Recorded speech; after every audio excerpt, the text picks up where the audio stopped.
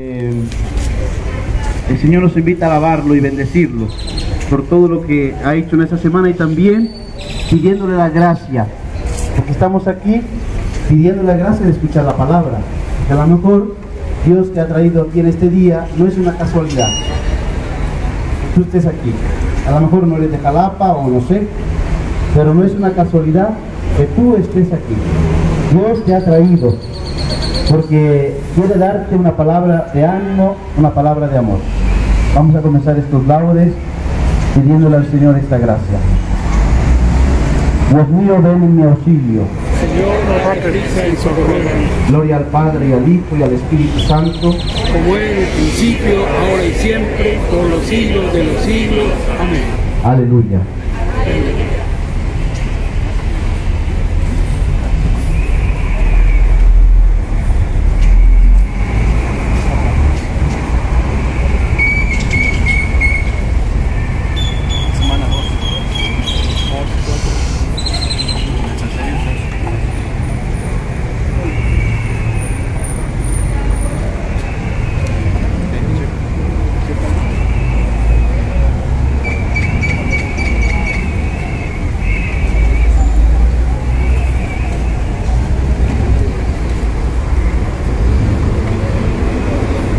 Verdaderamente ha resucitado el Señor. Aleluya. Ha resucitado el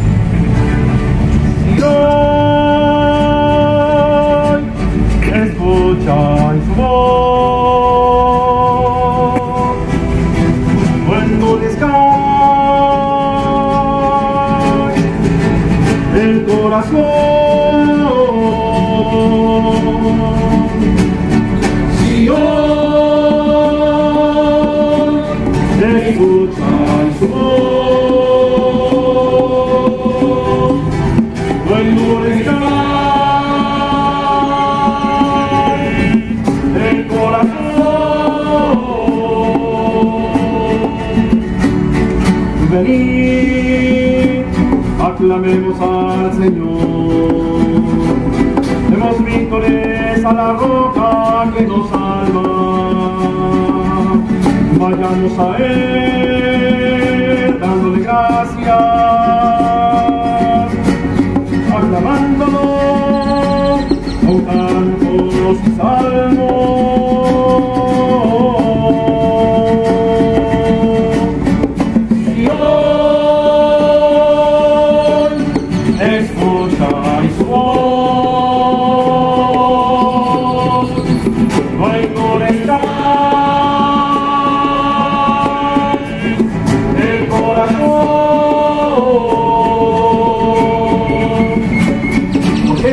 el Señor es un Dios grande,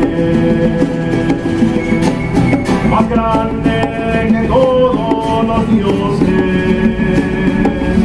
Suyo es el mar, suya es la tierra, con suyas las cimas, los montes.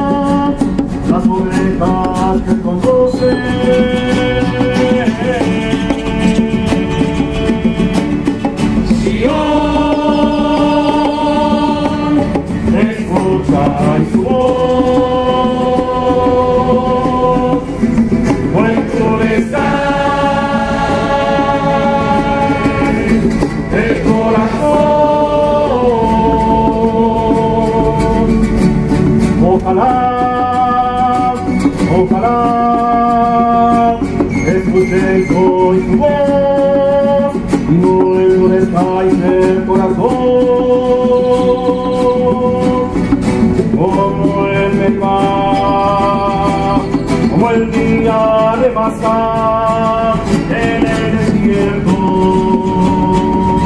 donde vuestros padres dudaron de mí, aunque habían visto mis obras, me obligaron a hacer su voluntad durante 40 años. Me gustó aquella generación y dije, este es un pueblo de corazones extraviados, no quiere conocer mis caminos,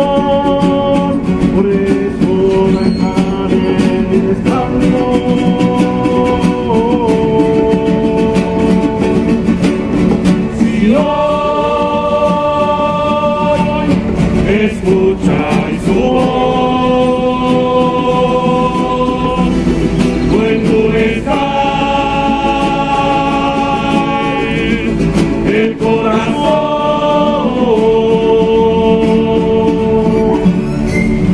Gloria al Padre, al Hijo y al Espíritu Santo. como en el principio, y siempre, por los siglos de los siglos. Amén. Verdaderamente ha resucitado el Señor. Aleluya. El Señor. Aleluya.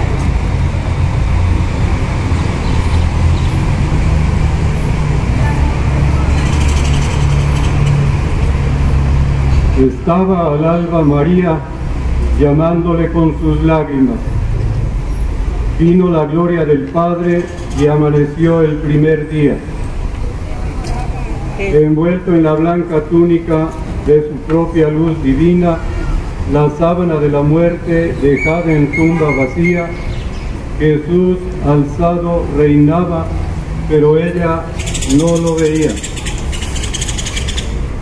Estaba al alba María, la fiel esposa que aguarda.